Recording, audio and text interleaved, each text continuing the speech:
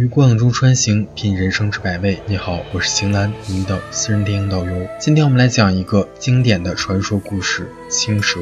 因为和传统意义上的《白蛇传》不一样，所以我们要从法海讲起。年纪轻轻便法力高深的法海，这天遇见了一只幻化成人形的妖精。尽管妖精苦苦哀求，说自己是听佛经而被点化的，但法海还是固执地认定所有妖精都是坏的，然后废掉了他两百年的修为，将他打回原形并镇压起来。但随后他从妖精。随身带的佛珠上得知，那可能真的是一只有佛缘的妖精，他很可能收错了妖。心高气傲的他无法面对自己的过错，他心烦意乱之下来到紫竹林，看到了一个临产的女人，还有两只为女人挡雨的蛇精。因为刚刚才犯过错，加上两只妖精确实在行善，所以他放过了姐妹二妖。但在看到少妇同体时，也无意间在他心中种下了心魔。一晃很多年过去了，两姐妹终于修炼出了人形，向往红尘人世的她们来到这座小镇。姐姐因为有千年修为。所以更能体悟人间的真情实感，而小青因为修行不足，所以很难理解什么叫七情六欲，什么又叫做爱情。她就像像一个未经尘世的少女，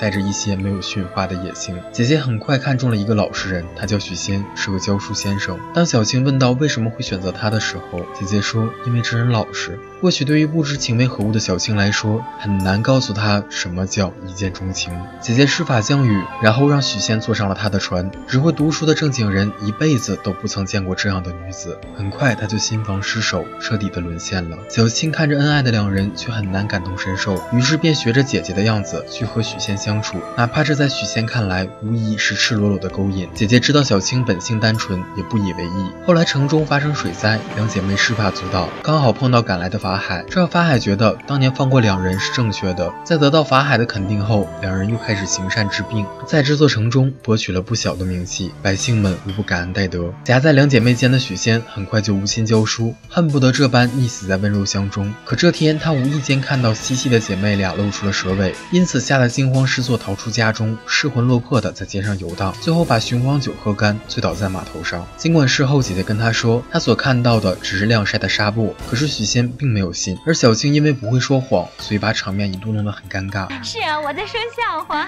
为什么公子你不笑呢？啊，我笑，我笑。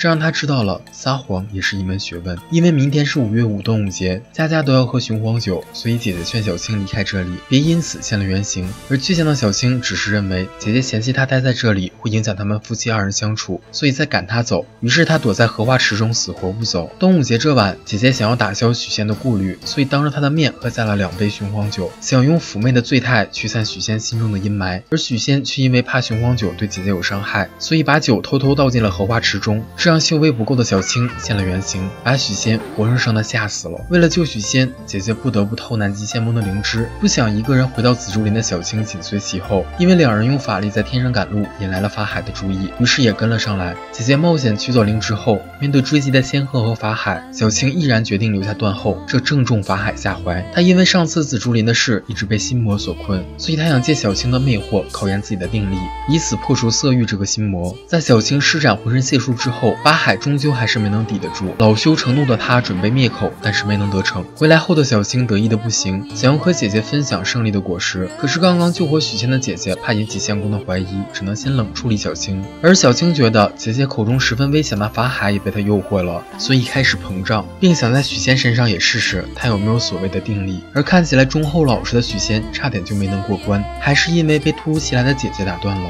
小青故意惹姐姐生气，想看她到底在不在乎自己，而姐姐。则知道小青不懂人世间的情理伦常，甚至连人类的情感都不知道是什么，所以姐姐并不怪她。但是姐姐已经怀了许仙的孩子，她想要安定下来了。小青的存在对她安定的生活无疑是一个未知数，所以她希望小青离开。看着姐姐流下的泪水，小青并不懂那是一种什么感情。事后法海终于找上了门，并带走了许仙。姐妹俩联手找上了法海的金山寺，可是不同情理，并对小青心怀怨恨的法海下定决心要破坏这段人妖之间的恋情。双方最终还是。斗起法来，而金山寺中的许仙因为怕姐妹俩受到伤害，所以愿意皈依佛门，只要法海可以停手。随着战况越来越激烈，姐姐不小心动了胎气，这让大水失控，冲毁房屋无数。而当法海要赶尽杀绝的时候，看到姐姐生下孩子，这一刻他才知道白蛇已经修炼成了人，他再一次做错了。姐姐拜托小青，趁着法海陷入狂乱的时候，赶紧去救许仙出来。而小青此刻终于知道什么是感情，她问姐姐：“你说人间有情，那我们之间的五百年难道不是情吗？你又当我是什么人呢？而当小青杀进来之后，她看见的却是一个已经成为了和尚的许仙。她以为许仙背叛了自己和姐姐，因此流下了五百年里的第一滴泪水。而被封住五感的许仙根本无法出言解释。当他带着许仙出来的时候，姐姐已经被冲塌的雷峰塔撞死，而法海只来得及救下他们的孩子。悲痛万分的小青在水面上一遍一遍地呼喊姐姐回来，可是曾经的五百年，他们再也回不去了。为了让姐姐和心爱的人永远在一起，因此他一剑杀了许仙。影片的最后，小青说：“他因人间来，又被人间误，连人都不懂情为何物，为何要让他懂？”当我们明白了所谓的情后，他会再回来的。我是青兰，真心求一波关注转发，我们下次见，拜。